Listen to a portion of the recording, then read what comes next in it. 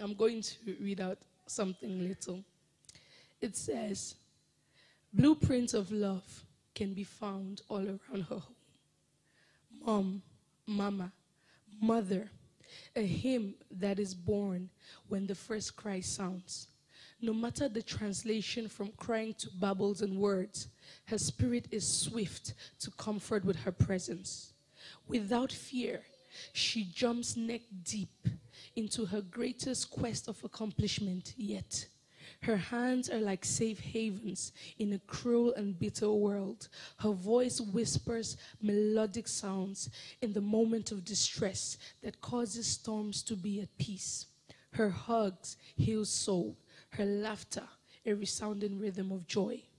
She has been lied to that her role remains insignificant. She has been forced to conquer the world with tools she was never designed with. Like a mustard seed, her faith moves generations through prayers, affirmations, encouragement, and her presence. A pillar to silence, but strong enough it changes destinies. She raises nations with warm meals. The warmth of her home is a reflection of her heart.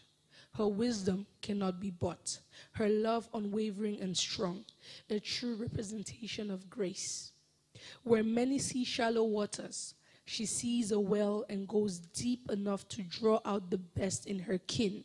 She protects her cubs like a wounded lioness. She doesn't relent, even on her knees, she still wins her battles. Even in silence, she remains unshaken because tomorrow battles brings her no worries. She sits and she basks in thank yous, kisses. I did it, mom. I passed my test. I have graduated. I have finished college. I am now a father. I am now a mother. I am getting married. Her deepest desires unraveling through generations. The early mornings, the late nights, the snotty noses, and all the handprints, the wall handprints, become an illustration of fulfillment. Each moment, God's gift of mothers to mankind cannot be hidden. Call her favor.